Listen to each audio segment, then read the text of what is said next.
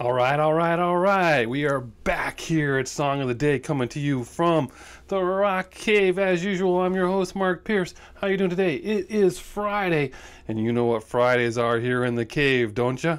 Do you? Do you? Do you know? Do you know? I do. It's Octane Friday, and we are pumped up today.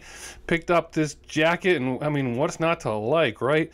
Oh man, love me some Octane Friday. Hope you do too. You might be able to guess what we're talking about today because we doubled up with the jacket and the shirt. Whew. Let's talk about this week so far.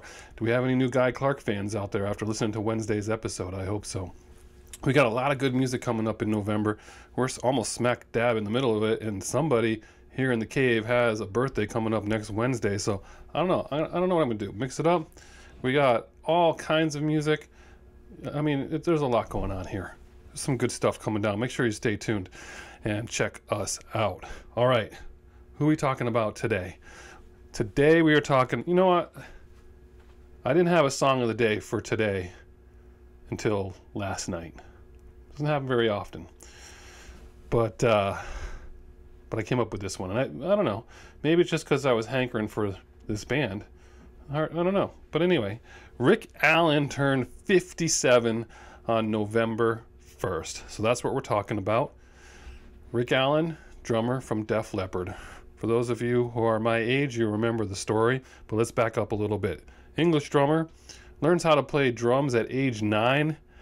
Uh, at age 14, his mother answers an ad.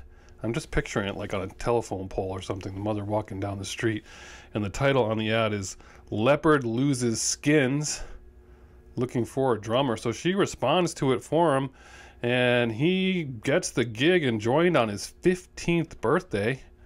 Then he drops out of high school as one will when they join a band, much to his parents' chagrin, I'm sure. But it worked out. And then next thing you know, on his 16th birthday, he's playing for Def Leppard, opening up for ACDC. How about that? Playing the Hammersmith Odeon. I'm going to talk about that place for a second. Wasn't really my plan, but I feel like I see that a lot over the years on tour posters and and live shows. It's on this Megadeth poster right here, right in the corner right there. Hammersmith Odeon. So I'm like, well, what is this place? It's been around forever since the 1930s. It seats like for most of its most of its life. It seated like less than 4,000 people, right in the heart of London. Uh, I think it's up to 5,000 right now. But basically, anyone who's ever anyone who has played there, everyone has played there. Basically, we're talking the Stones, Bowie, Bruce, Bob Marley, Ella Fitzgerald, Duke Ellington, Queen did a night at the opera there. We'll be talking about them later this month. Uh, Kiss.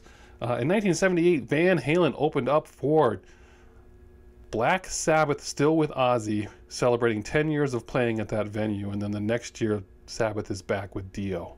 And I think they played, they recorded Live Evil there or something, or maybe, anyway, maybe, I think it was unreleased live stuff. Anyway, uh, so many bands have recorded live records at this venue. Uh, Rush, Whitesnake, um, Megadeth, Countdown to Ecstasy. Oh my gosh, someone's calling the cave. Is it a rec- Is it a request at this hour? We'll have to call that back. Maybe I will do a live show one of these days. Wouldn't that be fun to do a live show?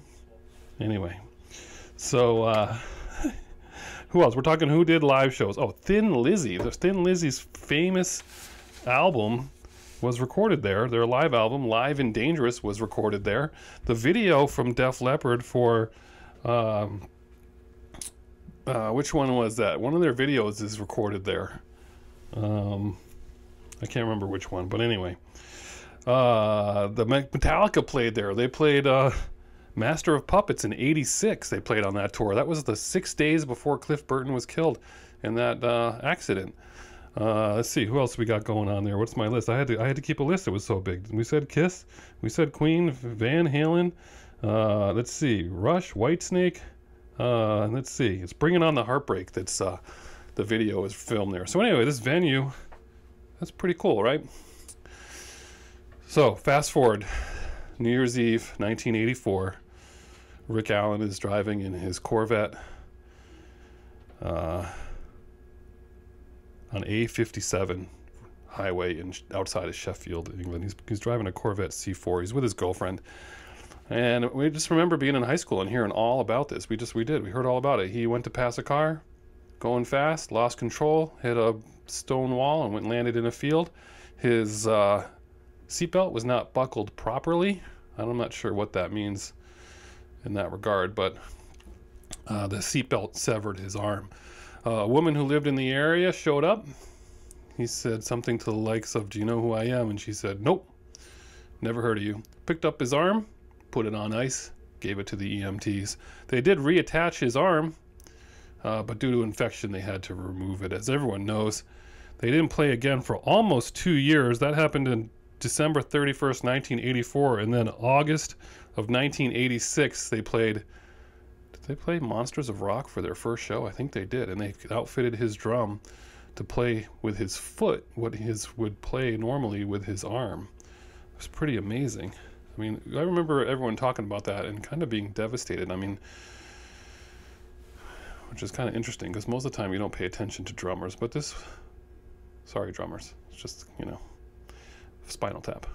Anyway, it was a big deal when it happened, and I'm glad that it worked out because what a band this is, right? Uh, so good for them. And uh, I never got to see them in concert in then in the '80s. So I want to hear. I don't want to hear if you saw them recently. I don't want to hear about uh, these tours that they're doing now. I want to know if you saw them smack dab in the middle. I want to know if you saw anyone saw the Pyromania tour. If you saw the Pyromania tour, I mean Hysteria, fine.